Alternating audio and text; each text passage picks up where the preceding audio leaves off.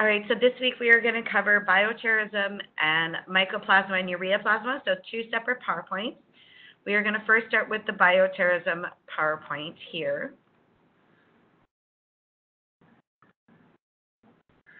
All right, so we'll just skip through these objectives. But the definition of bioterrorism is the intentional use of any microbes, so it could be bacteria, viruses, fungi, parasites, or even the toxins they produce to purposefully injure people, animals, or crops. Biological warfare, then, of course, is using that to gain an advantage over another country or another part of a country, whatever it might be. So there is some history of criminal use. Um, salmonella, first case of salmonella bioterrorism was it was purposely sprayed onto salad bars in restaurants, causing salmonella food poisoning. Of course, we all know anthrax is a big bioterrorism agent because it is Bacillus anthracis produces spores they can put those spores in, say, contaminated letters in one incident where you open a letter and breathe in the spores. Ricin toxin is ricin is a toxin made from castor beans. This has also been sent through the mail in history. Um, as a result of all this, there kind of was this Bioterrorism Preparedness and Response Act of 2002 put together. It just provides guidelines on possession, use, and transfer of agents that they have selected that they know are known bioterrorism agents. So they made a list of these ones that are typically used or potentially could be used, and those are the ones that we control kind of who has them, how we're doing, you know, using them, possessing them, that kind of thing. All right. So, with that being said, there, of course, going back to the very beginning of micro, we know there's biosafety levels. And there's four biosafety levels. Most of these bioterrorism organisms are going to need to be at a level of three or higher, um, but there are some that are biosafety level two, so let's just review these. Biosafety level one is basically anything that doesn't really cause much harm, doesn't do much for disease.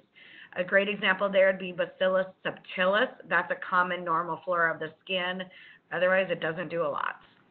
Biosafety level two is the one that you find in most hospitals, um, in the majority of our hospitals around. These are ones that are definitely known to cause human disease, but they're not as transmissible as some of the others that we'll talk about. So hepatitis, um, salmonella, E. coli, Staph aureus, all of those fit into biosafety level two. Anything that we have played with in the lab is a biosafety level two. Biosafety level three is more of a serious condition, plus can be transmitted like a respiratory route. So this is where tuberculosis comes in, because that can remain suspended in the air for so long, we need to be really careful about which biosafety level we're using to potentially work up a case of tuberculosis. Same as Bacillus anthracis, that would have to be level three since it produces spores that can be respiratory. So anything like that would be a level three. Level three again is the one where it's an enclosed hood where you're putting the hands into like these attached gloves and you, everything is enclosed though. You can't be open to anything. And then finally, biosafety level four is a high risk of serious disease. This is where Ebola comes in, smallpox, those big bad boys, um, and only very select few sites have this. All right, now there are three categories of public health preparedness with bioterrorism that are separate from the biosafety levels of our hoods and equipment. So anything that we put into category A for bioterrorism agents means they are very impactful. They're very big, serious contenders. So category A is kind of like our worst of worst bioterrorism agents. They're known to do the most harm, the most mortality. Then category B is kind of medium risk, and category C is less impact. So here's kind of an example of where things fit. So category A you see is anthrax, Francisella, Yersinia, botulism, um, your smallpox, your hemorrhagic fever viruses like Ebola, Marburg, all are category A. And then category B is your Brucella, Salmonella, E. coli 157, ricin toxin. And then category C is tuberculosis and some other viruses again. So just know that category A is like the most impactful, down to C is the least impactful out of the bio threats. All right, so what makes a good characteristic of a bioterrorism agent? It's that it's easily made. You don't need a lot of skill to put together whatever you're going to launch or do. It's mobile. You can transport it easily, and it causes huge impact to your population in that it's a good fatality rate, it's easily transmissible between person to person. Um, it causes a lot of panic. I mean, those are all ideal settings for a good bioterrorism agent. So different transmission modes, there's aerosolized, so up, you know, breathing in through the air, contaminating food and water, or directly applied to the person. Um, anytime that spores, endospores are involved, that's especially ideal because they can be aerosolized, so it's easier to pass them to people. Um, they're pretty stable, so they are definitely going to usually work and easily breathed in. So, in response to everything with bioterrorism capabilities, um, things growing in increasing nature, there was a laboratory response network, LRN, set up between all the hospitals, and I'm sure you guys have heard of this. Basically, it communicates between the hospital labs, which are known as our Sentinel labs. So, Sentinel labs would be the normal hospital labs, to the regional reference labs. Maybe that's LabCorp, maybe that's your State Department of Health and then up to the CDC. That way, anytime that we have something that is a positive that's on a list, we have to report that we have that. And it's things like bioterrorism, but it's also STD testing, it's influenza. Anything known to cause an outbreak is reported. We have to track and know if outbreaks are becoming a potential, if there's an area that's really swelling up with outbreaks, that kind of thing. So in this case, we use that whole communication network to especially report on for bioterrorism. We have to reference from the hospital lab the organism or the culture to the regional reference lab for confirmation, for serotyping, to get more details on the organism. So reference labs, again, can be your public health labs, your State Department. It could be just a larger reference lab, and then they are going to report to the CDC. There's also a couple others here mentioned as well as really in-depth laboratories for micro.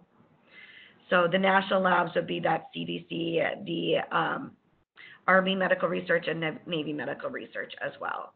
So again, as it says, they can perform complex studies. So they have a lot more resources at hand. They're a lot more specialty training. So they can get it down to the exact serotype and everything of what's going on. They'll also do interviews with people. Where did you get this? You know, what food did you eat? That kind of thing, so they can really narrow down what's happening. All right, this is just a chart of key indicators of a potential event. So when to know there might be a bioterrorism event happening. So there is going to be a disease that you pick up that's not a normal route of entry. Um, multiple patients are going to have the exact same infection in the same area above normal rates of morbidity, mortality, um, things like that are all going to give a clue that maybe it's a bioterrorism event happening. All right, so let's get into each of our organisms that we link with this that I want to make sure you know. So let's review again Bacillus anthracis. This is, of course, a gram positive rod. It can cause three different forms of anthrax the cutaneous, the GI, or the respiratory. Cutaneous is going to produce these like black skin ulcers, which I show in the picture there on the skin. GI is ingesting the spores, and then inhalation is typically always due to a bioterrorism event or maybe it's just a bad lab accident. Exposure, generally occupational, unless of course it is used as a bioterrorism agent. So again, anthrax is the one that you can also nickname wool sorters um, coming from the shearing of sheep with spores embedded in their wool um, because it can be found in the soil. So that was a nickname for anthrax. So that would be kind of the occupational hazard with the shearing of sheep and picking it up that way. All right, as far as specimen collection goes, you're going to collect whatever's wrong with them. If they have a black skin ulcer, you're going to collect a skin swab from that black skin ulcer. If they potentially have it in the respiratory, sputum sample or blood samples to see if it hit the bloodstream, whatever the complainter's seemingly symptoms are. Again, when you grow up Bacillus anthracis, it's going to have that Medusa head morphology, or you can call, call it comma projections, meaning it's not perfectly circular. It has these projections coming out. It is non hemolytic, and it has what we call an egg white consistency, meaning when you beat eggs, like when people make meringue and beat eggs, they get stiff and form peaks. That's kind of what this does. When you go to take your loop and pick it up, it kind of lifts off the auger and it's kind of stickier. So it's showing that in the picture here where it lifts up like that egg white consistency. In the bottom picture showing the gram stain, bacillus gram stain are very large. They're large gram pos rods. They're very what we call box cars. They're very in your face gram pos rods. And sometimes in the gram stain you can see that they did have spores because where the spores are at, they won't pick up the stain. So that's not always true. You might not always see that picture perfect, but just to note that sometimes you might see the area where the spore is at. As far as presumptive identification of anthrax, you will know you potentially have anthrax when you see these non-hemolytic colonies that maybe have these projections out from it. When you gram stain it, it's a large gram pos broad. It's catalase positive, non-motile. All of that leads to the potential bacillus anthracis.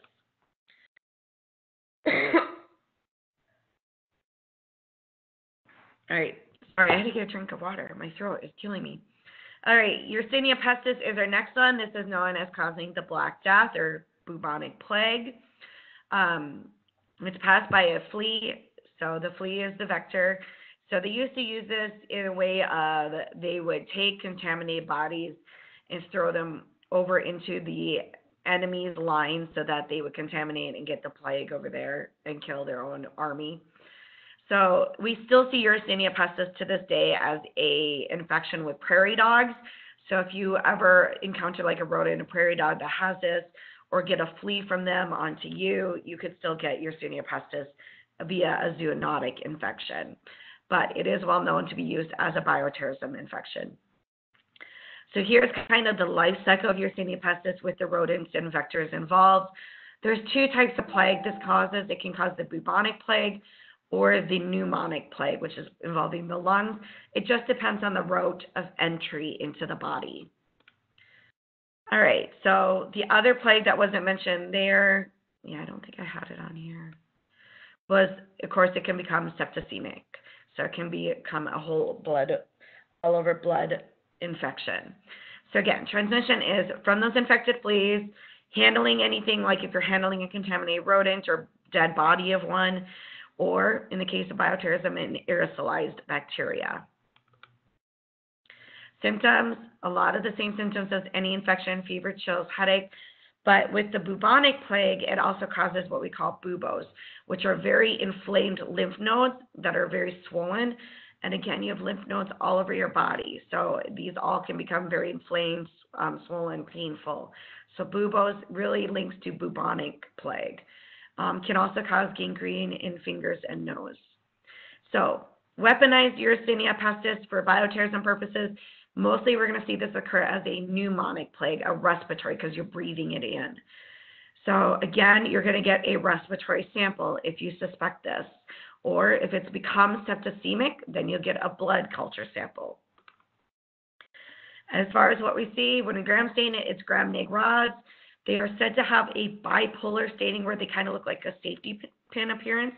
Non-hemolytic on the auger, kind of a fried egg appearance. Otherwise, it's a non-lactose fermenter, catalase pos, oxidase negative, urease negative, are some info details on this. There's the fried egg appearance kind of on the auger. And then again, this is supposed to be Graham neg rod. I don't think that's the best picture. If I probably should find a one that's a little better picture, but it's trying to show you the safety pin look.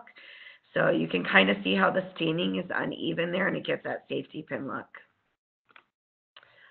All right, on to Francisella tularensis, another zoonotic disease, um, but again, it can become bioterrorism. So it causes tularemia, again, carried by rodents, rabbits, beavers, muskrats. So a lot of times we do see tularemia whenever we handle those infected animals or if there's a vector on them that bites you or you're bitten by the animal, whatever it might be. For bioterrorism, it's going to be when you inhale it. It's been aerosolized.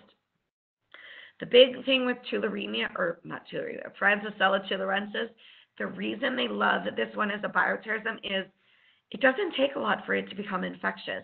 Little as 10 organisms, and that will cause you a great infection. So that's why it's a super good one. It's a very little amount to cause you the disease.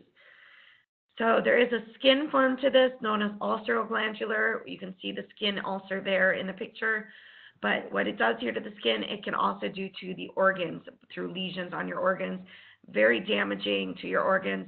And that's where the harmful infection comes. It's not something that you can easily fight off when it's getting, getting on those organs. So as far as symptoms go, same kind of symptoms. Um, you'll see lesions at the site of wherever it entered unless it's respiratory. Again, respiratory is linked with the bioterrorism. For what we detected, um, we can look for blood cultures if we think it's septicemic, or you can get a biopsy from the lesions. It is, again, a biosafety level three, which all these kind of have been. As far as identification, we can see this one growing on BCYE agar. I know BCYE agar, we've linked that with Legionella, but Francisella does like to grow on it as well because it is a fastidious organism. So this is not to just grow on MacConkey agar. Yes, it's a gram neg rod, but it will not grow on MacConkey agar. It is oxidase negative, catalase pos, urease negative, or just some info on it. So there's the, it's actually a gram neg coccobacilli, which you could really see in this picture. It's not a big rod shape, it's very small. And then again, when it does grow on chocolate agar, it's just, it's small, medium, um, grayish. It's nothing exciting on the agar look. Brucella, another zoonotic one, also causing bioterrorism, comes from an animal host. There's four different ones, each one linked with a different animal. All are gram-negative coccobacilli. So abortus is cattle, melitensis is sheep or goats, Sweet is swine, pigs, and canis is dogs. Again, biosafety level three.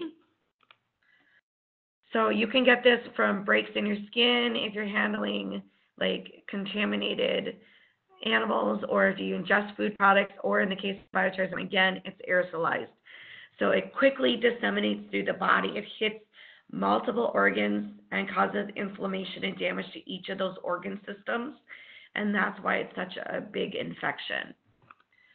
All right, again, similar symptoms and known use as a biologic weapon.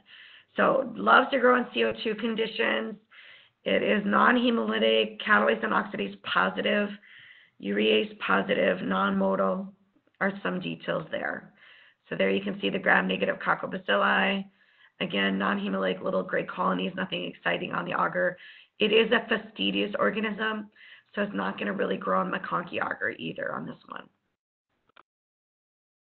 Burkholderia, um, we haven't talked a lot about Burkholderia. That was probably at the end of micro one. Um, it is a non-fermenter gram neg rod. There are two types here, Burkholderia mallei, which is known to cause glanders disease. Glanders is a disease within like donkeys, mules, and horses. And then Burkholderia pseudomallei, which causes melioidosis. That is an infection in humans.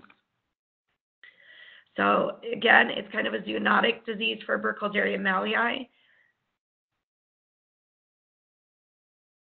In that you can get it if you do have contact with those infected animals. It doesn't take much, again, to cause an infection. It's a low infectious dose. So it was used as bioterrorism in World War One to purposely infect like the horses um, that were used for transportation. Pseudomallei causes melioidosis.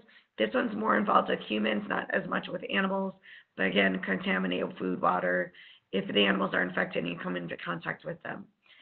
So again, gram neg rod, non-pigmented, non-fermenter, also non-motile, catalase pos, indole negative are some ideas here. Likes to grow in extra CO2. There's what it looks like. Nothing exciting on the agar plates. Again, it looks white, gray, medium. Coxiella burnettii causes Q fever. This is found in different animals, but also can be reservoir in humans. So a lot of vet or animal handlers are more exposed to this. Can transmit it through urine, milk, feces, tissues, fluids, anything coming from those contaminated sources. All right, so Q fever is dangerous because only half of it can be symptomatic. So if you could have it, not know it.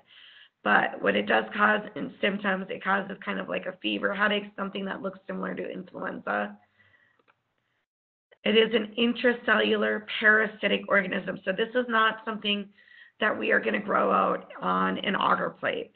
It would be more processed like a viral culture where you have to grow the cells and look for it inside the cells since it's an obligate intracellular organism.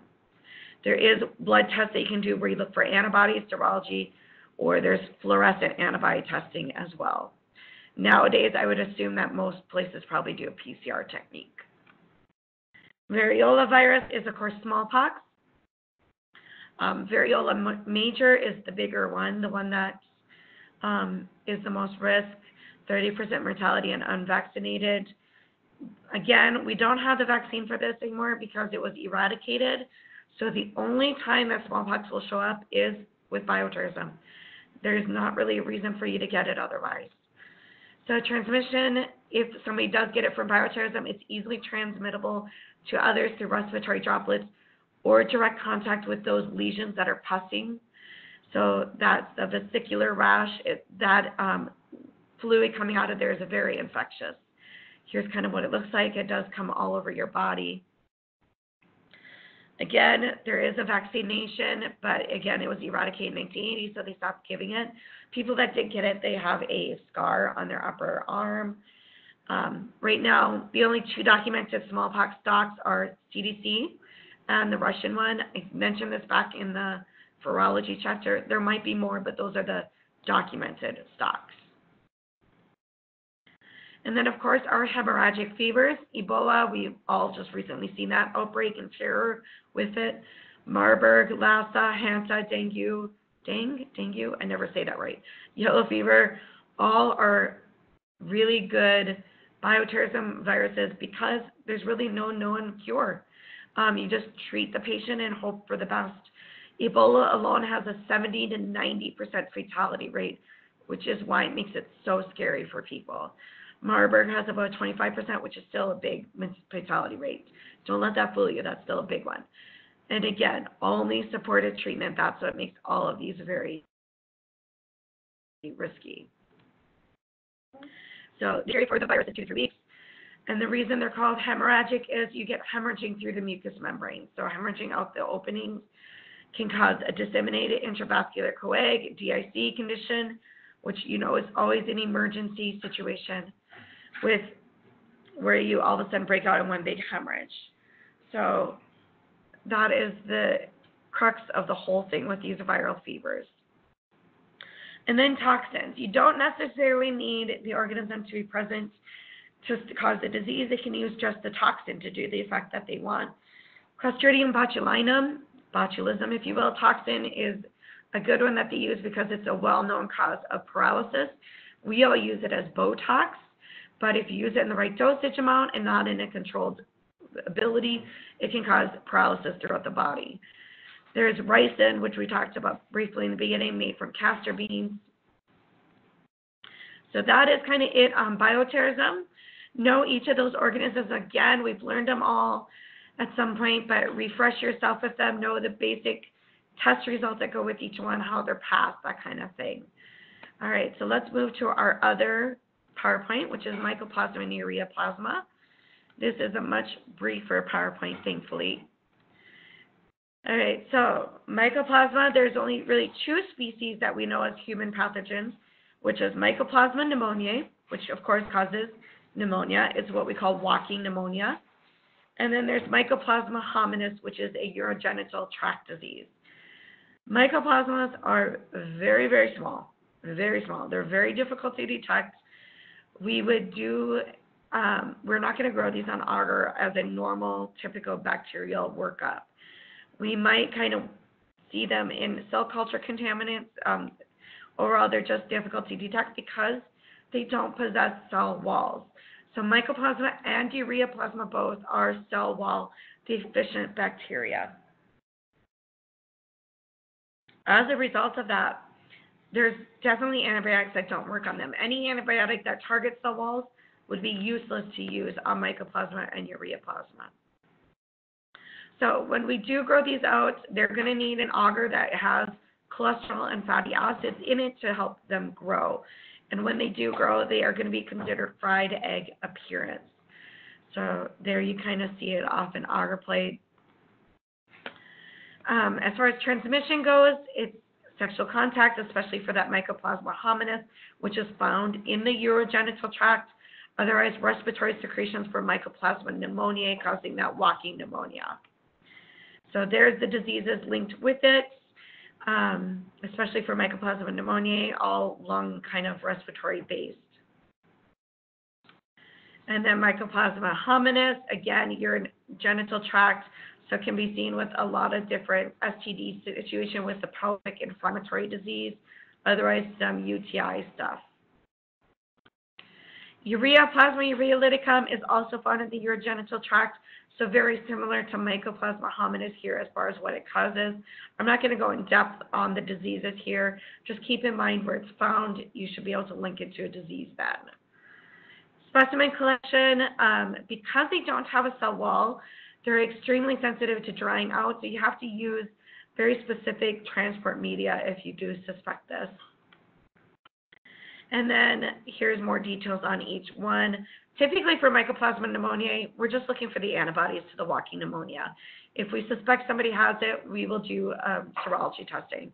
So we would just draw blood. As far as hominis and ureolyticum, the ones that are found urogenital, there is some culture augurs broth that we can use there if we suspect.